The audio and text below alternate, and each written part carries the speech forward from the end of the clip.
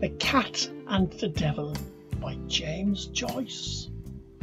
My dear Stevie, I sent you a little cat filled with sweets a few days ago, but perhaps you do not know the story about the cat of Beaugency.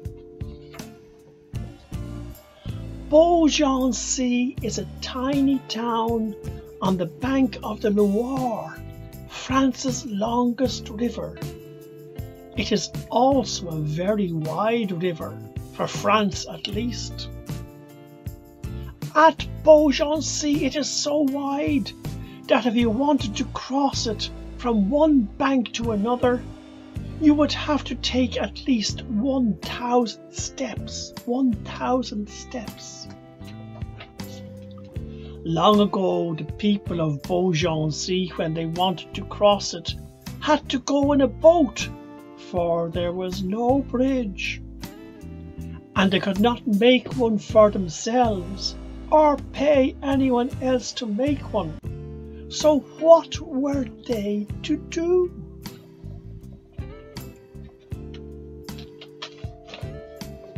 The devil who was always reading the newspapers, heard about this sad state of theirs, so he dressed himself and came to call on the Lord Mayor of Beaugency, who was named Monsieur Alfred Byrne. This Lord Mayor was very fond of dressing himself too. He wore a scarlet robe and always had a great golden chain around his neck. Even when he was fast asleep in bed with his knees in his mouth.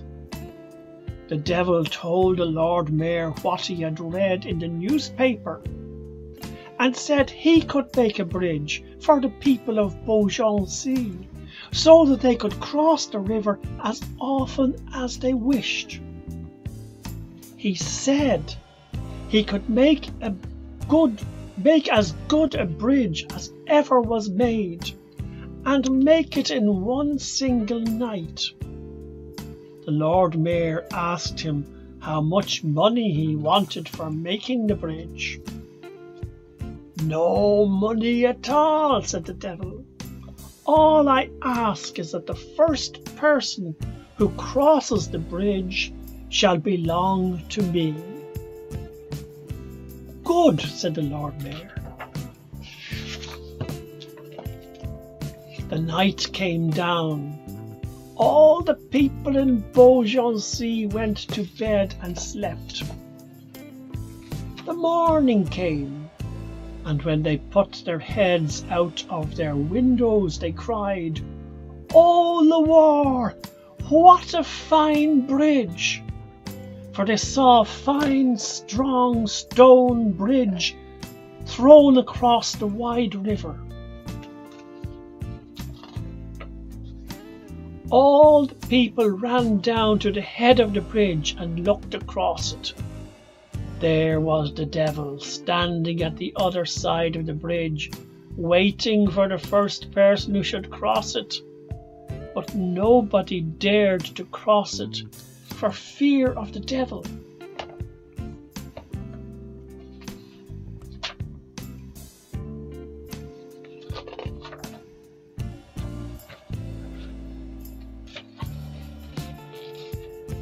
Then there was the sound of bugles.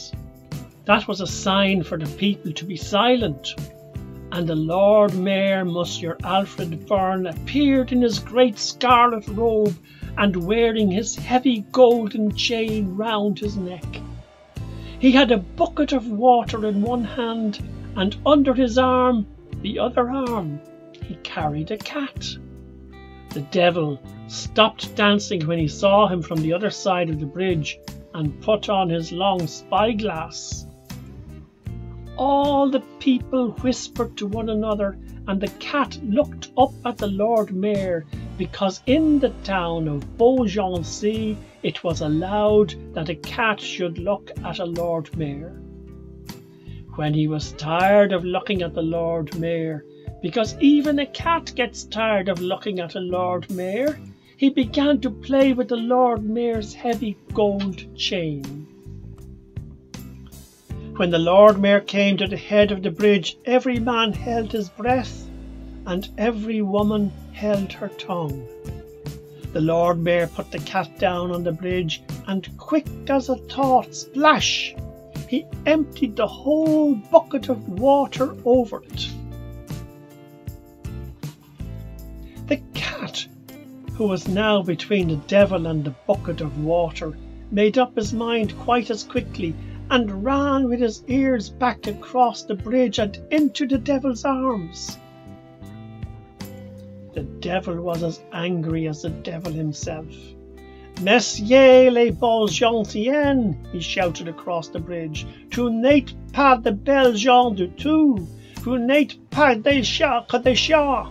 And he said to the cat, Viens mon ici mon petit chat, tu as peur mon petit chouchat, tu as froid mon petit chouchat, viens ici le diable t'emporte, on va se chauffer tous les deux and off he went with the cat. And since that time, the people of that town are called Les Chats de Beaugency. But the bridge is still there, and there are boys walking and riding and playing upon it. I hope you will like this story, Nonno. P.S. The devil mostly speaks in a language of his own called Belly Babble, which he makes up himself as he goes along, but when he is very angry he can speak quite bad French very well, though some who have heard him say that he has a strong Dublin accent.